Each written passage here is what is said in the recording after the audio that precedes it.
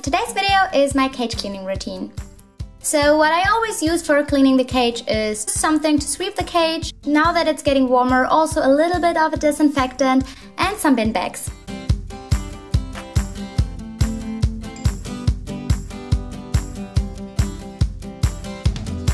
I usually start by taking everything out of the cage, so the water bottle, all of their houses, the hay rack, or in this case the hay house. And for some reason that made the guinea pigs really, really excited and they started running around in a circle.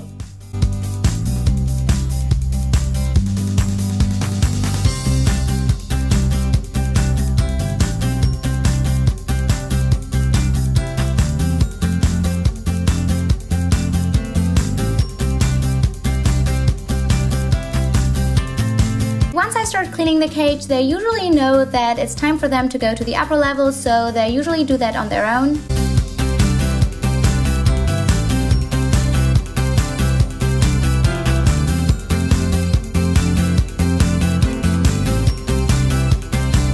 And then they relax a little bit upstairs.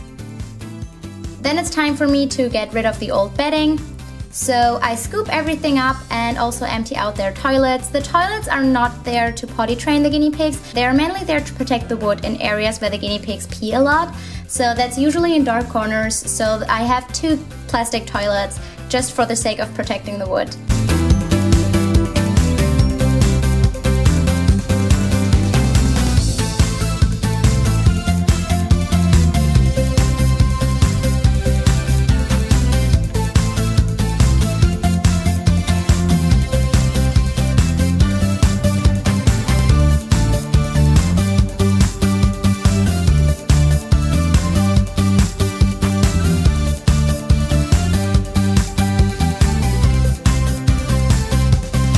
Once most of the bedding is out of the cage, I take a vacuum cleaner and vacuum the complete cage so that there's absolutely no more bedding in the cage.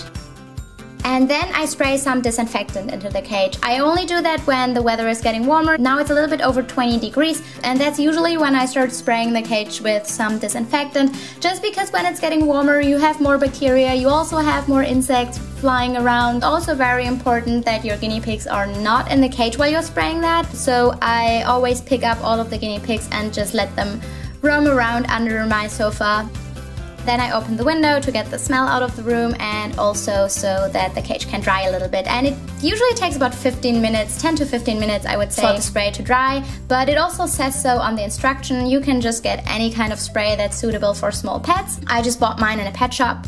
And here's the guinea pig cam when I put them back on the upper level. And once everything's dry, it's time to put the fresh bedding into the cage.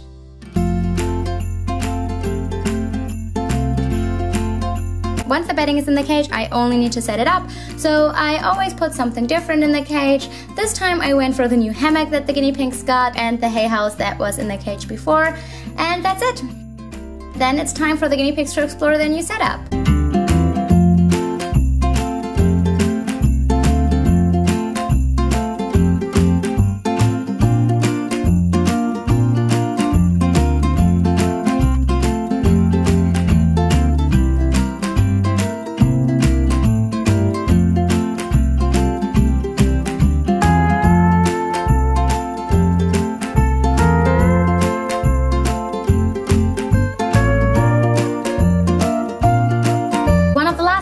Do is to put the guinea pig's old water bottle into the dishwasher and I take the new water bottle and fill it up with water and put it in their cage.